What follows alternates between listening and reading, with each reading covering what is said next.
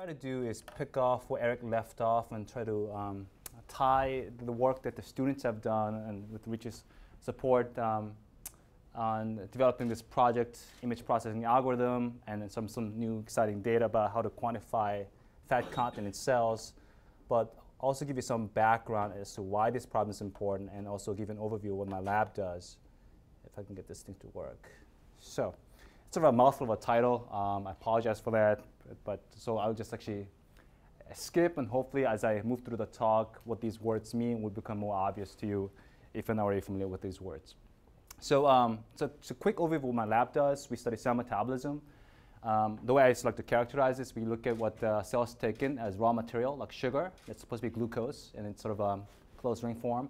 Uh, and then cell reactions make building blocks, um, energy like ATP, and the building blocks include uh, both uh, storage structure as well as inflammation. So this is nucleic gas. It's supposed to be a section of um, DNA. So the cells use these reactions, biochemical reactions, inside to make things it needs to grow and survive and pass on information to the next generation. Um, sort of a more detailed view of what we do in terms of examples. So we do some tool development. I'm working with actually um, collaborators in computer science and electrical engineering. Um, we also develop experimental systems, so in vitro organ systems, cell culture systems to look at more detailed and controlled fashion what these cells do, and then apply these to various uh, applications in metabolic engineering, whether to make stuff like biofuels, some interesting biological polymers like chitosan and um, chitin copolymers. Also develop more optimized cell culture systems so we can improve biologics production as these things become more and more important as the drug industry is facing the patent cliff with small molecules. But really the primary interest of the lab has been, and probably will remain so for the time being, what goes in terms of analyzing in terms of mechanisms, what goes on in disease processes, especially those that involve cell metabolism. A lot of the things that the human body does involves cellular reactions like these, which are fairly complicated. But what's so exciting about this as engineers is the complexity we want to take these systems of reactions, try to not reduce them to something simple and easily digestible, one piece at a time, because that's not how these things work. They work in concert as complex systems. But I think that's what's exciting for engineers to work in these areas because we have some training to deal with these complicated systems, and, um, and it's also sort of exciting for us. But before I go on, I want to use the opportunity to give some shout outs to graduate students, another way to motivate them. I was told this is helpful, so I hope it's helpful. Um, I see Julie in the audience. So Julie and Joanne actually were supported by the um, uh, British Foundation grant. We got to make biofuels using E. coli. And what's exciting about this work is that I think we're the first group to actually demonstrate to produce fully um, neutral lipids, oils in these cells. So you'll see the theme. A lot of my work involves fat and oils and, in cells. So this is an example where we're trying to make more fat. As I see, as you see my rest of my talk, we're going to try to also make less fat in these cells. So in E. coli, where we want to make a product, it's a good try to have engineered a cell to make more of something that's not normally present. Um, another application I have, um, this was done with Pfizer, is to try to model and predict the um, fed batch dynamic behavior of um, cell culture processes for biologics production. I'm not allowed to give you units due to my agreement with Pfizer, uh, but suffice to say that we can actually track the um, cell growth and the antibody titer fairly well over a 14-day culture period, which was sort of a fairly robust achievement for the time we had it done. It's been already cited many times by industry, which is very rewarding. So it's not just staying in the ivory tower of academia. Um, but the rest of my talk, I'm going to give you two quick stories about uh, the disease-related um, research we do. One's on obesity, um, and really was driven by my first graduate student. He actually is a, uh, has a degree in biology, even though he did his primary training in my lab. Again, give you sort of a, the example of Tufts and its uh, collaborative nature. He was a biology student looking for like an engineering-ish project, and he did a rotation through my lab, liked what he was doing, and so he stayed, and it was great because he had all this biological training, so I didn't have to train him in the biological methods. He could really think about the systems issues and actually plow through something fairly unique and challenging. Um, so, you know, if some of you have seen the slides before, I just want to kind of move through it quickly just to show you. The red color is bad. Um, the blue color is good. And as you'll see, we're, as a country, we're getting increasingly more and more obese. And the way to quantify these things is, is by basically ratio of height to, to weight. Um, not because it's really accurate, but because it's cheap and easily um, executed at, you know, across the country. But the bottom line is, even a couple years ago, um, if you sort of take into account obesity, heart disease, diabetes, everything that goes with it, that's about 15, no, 16% of total U.S. healthcare costs per year. So it's quite a bit. So if you can make a small dent in, in the obesity problem, certainly I think you can make also substantial contribution to society, of course, uh, human health as well. Um, so you know, it's fairly easy to say, and probably is right, that a lot of the problem is due to uh, lifestyle changes. We're more sedentary as a population. But on the other hand, the rate of incidence of obesity increase cannot be really attributed to only the exercise factor or genetic mutations of the population, because those things are pretty stable. What really has changed, and this is, I think, actually consistent with what Eric was working on in terms of groundwater contamination, there's a pretty strong correlation with the use of um, organic pollutants and our exposure to those things, like pharmaceutical products, uh, personal healthcare products, um, and there's a pretty robust correlation between the increase of that and findings in the environment that are immediate to a human experience, like drinking water, for example. I have a bottle which probably has some BPA in it, which is a plasticizer. And it turns out those chemicals have been increasingly looked at as potential obesogens or chemicals that cause obesity. So um, there may be some correlation there. The other sort of new exciting thing, sort of hot thing in biology these days, is the interaction between microbes in your body, the, the human microbiome, um, and these chemicals and obesity. So if you sort of put these things to, together, um, the recognition that we have microbes in the body that can metabolize, perhaps synthesize new chemicals from these raw materials, which are these organic pollutants, you have a sort of new model of interaction between the environment and the human body that involves the gut, these chemicals, and the adipose tissue. So um, at the cellular level, how we gain weight is, and I think the students will talk a bit more about this later on, we have a reservoir of some stem cells, although I should be careful to call them stem cells in case there are any biologists in the audience. Um, they're really progenitor cells that can become fat cells and pretty much nothing else. So they commit to becoming preadipocytes, and these cells can still proliferate and divide mitotically to grow in number. Um, and then once they commit to differentiating into sort of new young fat cells, these are nice healthy fat cells that can actually respond to insulin and, and store glucose and protect the body from hypoglycemia. But these cells can no longer divide, but they can still grow in volume by a factor of maybe um, a thousand or so in terms of volume size, because you know dimensions and, and volume scale to the third power. Um, so the, the couple processes that you have increase in cell number and increase in cell size as these uh, processes move through, and there's some speculation that these big cells could actually trigger the recruitment and proliferation of new reservoirs of adult stem cells to become fat cells. So you have this vicious cycle going on where you have larger fat cells stimulating production of new fat cells. So that's sort of nutshell what goes on, what really happens at the whole body level, and why this is bad for you. So let's say if you had too many bags of potato chips, um, chocolate chip cookies, generally high fat, high sugar um, start to be bad for you. And the idea is that these kind of nutrients make these normal looking adult fat cells into really large, ugly looking big hypertrophic cells. And it is thought that these cells can cause inflammation. And really, it's the inflammation, and you can fill in your, you know, um, whatever expletive you want to put in. But really, it's the inflammation that's bad for you. So if all the molecular evidence is out there that sort of try to correlate obesity to the health outcomes that are detrimental, like diabetes, type 2 diabetes, um, hypertension, um, strokes even, um, they all seem to sort of center around the idea that tissues First, here and other tissues in the body become inflamed. These are not fever-inducing inflammations. These are chronic, low-grade inflammations that cause um, the negative health outcomes. So with that sort of long-winded introduction, but I want to get everyone somewhat up to speed on biology. Um, going back to the cell metabolism idea and the complex pathways involved, what we want to do then is look at how these cells then store and accumulate so much fat. Why don't they just burn it away?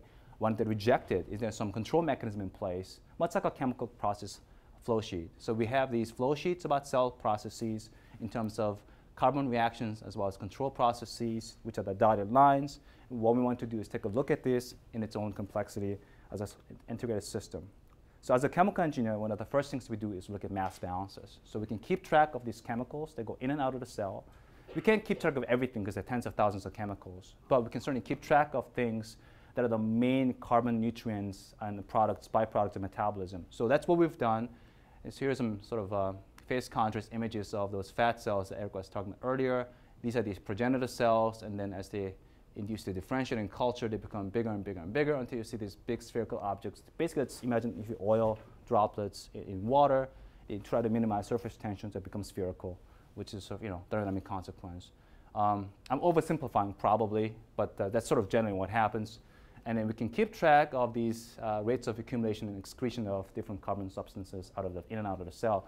One of the first things that jumped out at us is that it's not a monotonic trend. Some things go up, some things go down. So not everything is the same way. So I actually literally pulled this slide from my first lecture of my class that I used to teach in reactor design. So these are my actual own lecture slides. And what we do is we try to take in and do a mass balance of what comes in and what goes out. And at steady state, the accumulation term should drop to zero. And we can figure out the distribution of these reaction rates by doing simple mass balances. So if you know all the reactions or the bulk of the reactions, we can keep track of what's coming in. And let's say we observe a distribution like this, where A comes in at a certain rate, and there's a more of a production of B than C, then we can guess fairly robustly that the distribution should favor the formation of B. The, kind of, the nice thing about this kind of analysis is that it doesn't disrupt the cell. We can collect measurements in and out of the cell without killing the cell and opening it up. So we can do dynamic measurements over time and collect example snapshots of steady states over time. Gives an idea of how the cells behave. So that's what we've done. So the first thing we've done is look at a fat cell as it grows naturally and gets bigger to what happens to these chemical reaction rates. This sort of a simplified schematic map, um, vastly reduced from the more complex uh, system I showed you earlier. And you can see that uh, the numbers go up and down. Uh, so the green ones means they go up relative to the initial time point, and then red ones means they go down relative to the initial time point. And we immediately noticed that looking at the map, something interesting is going on here because you have things that are going up in one direction, yet another key reaction that's attached to this particular node that's going up and down. So that's actually pyruvate, a key organic acid within the cell, and we had some chemicals that could buy from Sigma Aldrich. They could be used to inhibit these reaction rates. So we have done that, and if you actually inhibit those reactions, turns out all the numbers turn red, which was dramatic. It's not just localized to this issue, this uh, particular node here at all. It was spread throughout the whole cell, which again supports the idea this is a system, it's integrated, it's regulated as a whole. And the key finding was that this actually reduced the total lipid um, accumulation rate within the cell, essentially by suppressing de novo fatty acid synthesis, but also not inhibiting glycerol uh, release as well as glucose uptake um, so which was very encouraging because we didn't want to produce, produce a cell that would not take in any more sugar because that's a primary function of the fat cell. Um, we've done also done similar experiments using um, biological proteins like uncoupled respiration. This was sort of my naive idea, the first project we tried actually, where we thought we could just burn away the cell. And we tried and tried and tried and failed because um, it just doesn't work that way. Um, after the fact, we realized that the cell actually evolved not to oxidize fat, um, it wouldn't make any sense for the fat cell's primary function is to store lipids within its own body, so the rest is not exposed to those lipids to start oxidizing it. Um, so evolutionarily speaking, it's actually very tricky to try to get the fat cell to burn fat, which is actually what we found. So we just we discovered old knowledge. But what the interesting thing was, um, when we uncouple respiration, we still reduce the fat storage, not by oxidizing it through the TCA cycle and, and respiratory pathways, but by actually doing the same thing we saw with the chemical inhibitors. What the cells actually ended up doing was to respond by a constant pressure to reduce, to actually increase oxidation. When we decoupled respiration, the cells sensed that respiration was no longer efficient and just decided to actually um, upregulate glycolysis, which is a much less efficient way to metabolize energy. Um, you know, if you sort of, for those of you taking biochemistry and biology, um, the ATP generated per glucose molecule through glycolysis, this upper portion of the metabolic pathway, is a lot less than the uh, metabolic energy output through the respiratory pathways. So what the cells have done is adapt to these less efficient energy conditions and store less. So what we've done is engineer cells actually they respond um, by being less efficient, and which is a great thing for fat cells because the problem with the fat cells is that they're too efficient by storing energy. We would want to actually, in retrospect, and so this is sort of the idea we have is to encourage inefficient pathways within the cell so they store less and um, waste energy. Um, we're not oxidizing, so there's no oxidative stress. Uh, they're just still metabolizing glucose. They're just making everything into lactic acid and glycerol. So that's sort of the ongoing direction of this research. And now that we sort of had an idea about the path we want to target, um, we then asked the question, and this is where Eric comes in and the students come in can we do this in a high throughput fashion? Doing this biochemical assays, which we can do, takes a lot of time and effort and cost. So if you can do just look at the cells, hit them with different chemicals, a library of chemicals, and see what happens to the lipid droplets. It'd be a really good way to screen these chemicals effects initially. So I'll let James and Brian talk more about sort of their cool image analysis. I frankly don't understand a lot of it anyway. Um, this is beyond my head. Um, but the, the, the, good news for me from the chemical and biological engineering analysis point of view is that the data seems to be actually consistent with our tried and true gold standard chemical measurements. So we can measure total lipid content after some stimulation. This is the same enzyme we knocked down before, this time with an RNAi molecule to be more specific.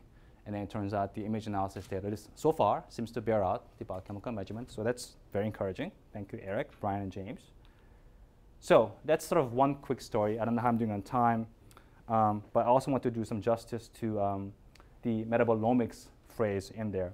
So um, again, acknowledging a student up front. So Zoe Gautham is a 50th grad student. He's been just phenomenal in terms of actually working on this project um, with a collaborator at Texas A&M. Uh, in the sense that this is not his thesis project, it was kind of some side thing I threw onto him, and he kind of took it and ran with it, and has done some amazing work and produced really nice results. So a quick recap in terms of the background, I already mentioned to you that the gut's important, um, and so prevailing sort of exciting hypothesis is that um, the gut is a source of inflammation if they metabolize these environmental chemicals.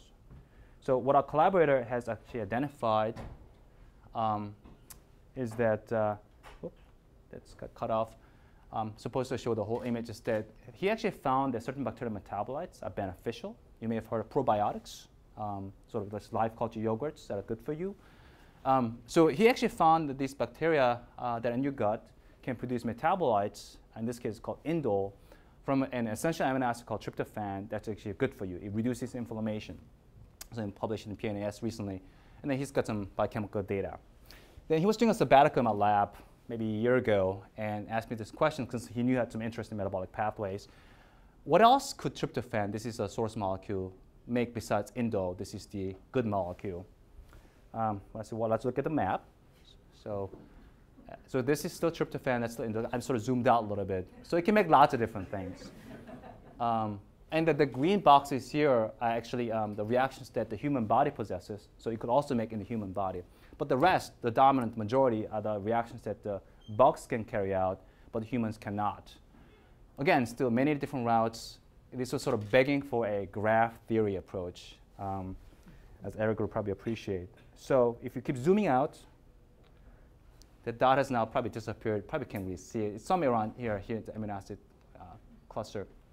You got lots of reactions and lots of compounds that the metabolite could become, and they're all connected somehow, some way. So trying to do this manually by just kind of looking at these images became quickly intractable.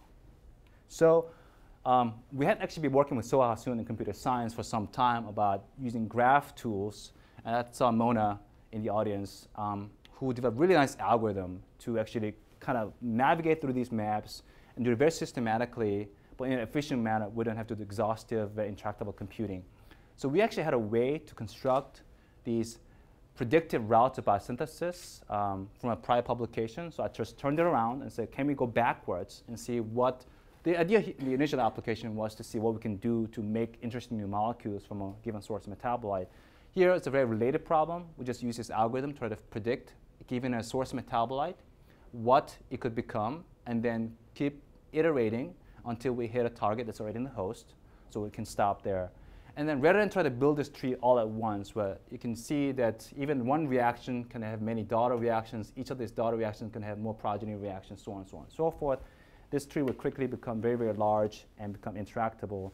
So what uh, Soha and Mona came up with was to actually do this by taking turns. So you do one sample, predict one pathway. Start over again and repeat the process and turns out, again, for reasons I don't fully understand, but I'm not a computer scientist, um, this is more efficient. And I took the word for it because uh, computing closed in reasonable time. So when we did that, we were able to rank order the uh, metabolites based on how often these things were picked. So this is a ranking of the related metabolites to tryptophan. And then what we've done, and Gautham has done in the lab, I shouldn't say we, because it's all Gautham's work, um, he sort of trained himself and sort of studied the metabolomics, um, liquid chromatography, mass spectrometry, and then figure out a way to quantify all these things in samples we got from a collaborator from Texas A&M in, in, mouse gut, essentially. So we took some mouse uh, um, digestive tract samples and then try to quantify and be able to now actually get quantitative numbers. I think for the first time, no one else, as, as far as we can tell, has reported this data on these metabolite levels. And the cool thing is that they're biologically active. So uh, these are just you know related structures of chemicals. With a cell-based assay, again, this was developed by um, Professor Jayaraman's lab at Texas A&M, where basically a green color means that it has some biological activity. In this case, the good news is that these are anti-inflammatory pathways that these chemicals are activating. So not only the source molecule, but the related family of molecules also have some anti-inflammatory activities that we can now predict, quantify, and also then verify using biological assays.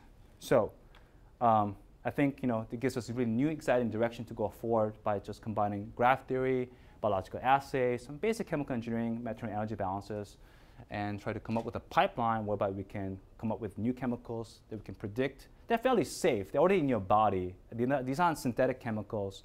Um, these are endogenous chemicals the human body has evolved with over time. Um, of course, the chicken and egg question remains, you know, is it that uh, obesity causes some changes in uh, microbial cells in the body, or does a change in the microbial cells cause obesity? So um, i just like to conclude with a sort of one thought, sort of my uh, paying respect and, and, and, homage to uh, a um, earlier Nobel laureate. Um, this book was recently published. You can buy it from Amazon by Gary Huffnagle. He's a pretty actually prominent guy in, in, in the field. He's at University of Michigan who's got this book called The Probiotics Revolution. You know, this is the new frontier in terms of better nutrition.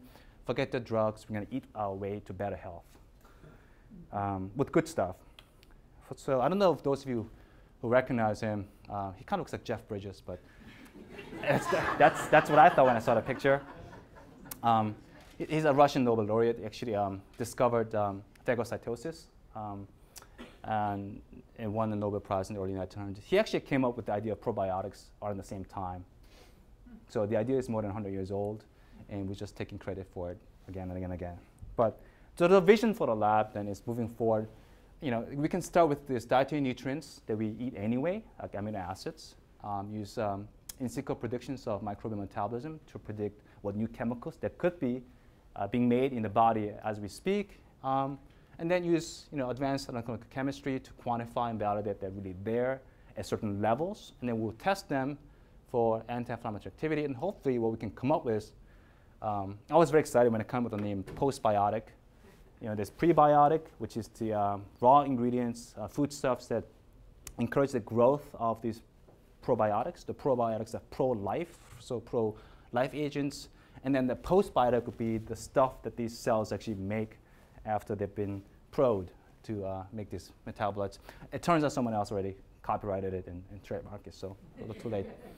So if you have any good ideas about naming these things, I'd be more than happy to listen. But basic idea really is we can start with known metabolites and come up with new metabolites that are already there in your body, and hopefully there'll be some benefit to treating obesity.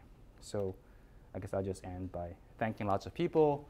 I highlighted the students uh, and who have worked on the project, uh, both past and present.